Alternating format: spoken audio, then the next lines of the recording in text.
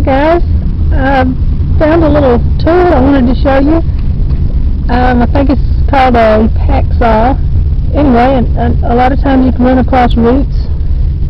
You have a signal under a root and you can't get to it. And I'm always curious to know what I'm missing down there, so I thought this would come in handy in those situations. So let's try it out.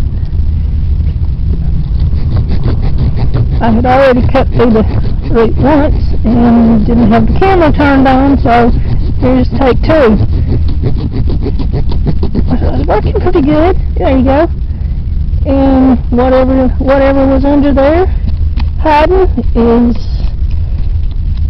going to be found. I don't have anything down there to find, but anyway, just thought I would show you. Thanks for watching.